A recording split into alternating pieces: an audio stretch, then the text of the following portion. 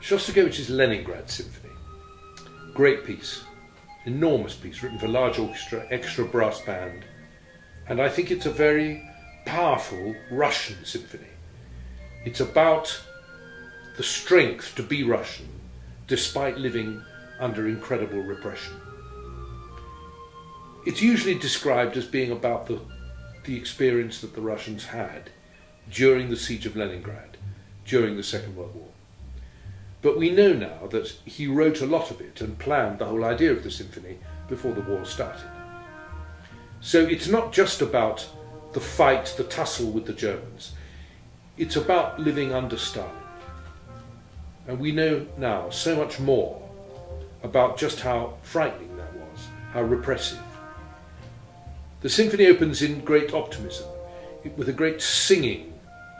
But we know now that so much of the music portrays the difficulty, hardship, and fear, above all, of living under Stalin's very repressive regime. The beginning, though, has an optimism and a muscularity that seems to describe an ideal communist life, Soviet life without the problems, into this serene world, very beautiful landscape that gets quieter and quieter, the solo violin. We suddenly hear the sound of the drum. So far away, we're not even sure that we actually are hearing it.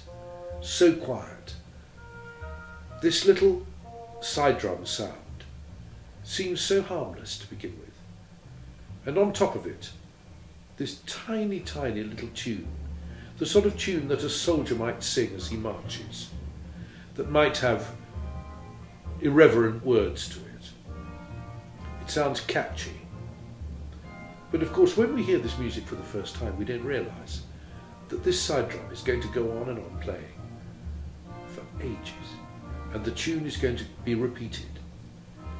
And it's going to get nearer and nearer and louder and louder until it fills every fibre of our being, until it sounds so near, so threatening, so frightening.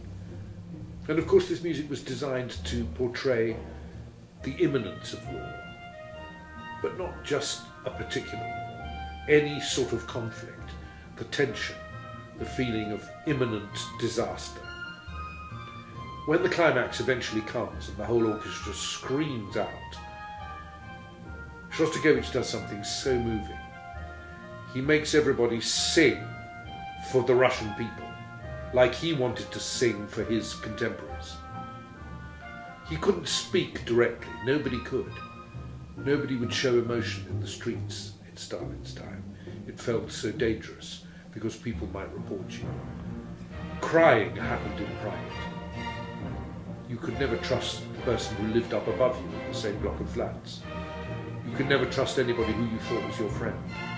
So Shostakovich sang for his people through his music, and this is something that he did better than anybody at that time. He was a very great composer.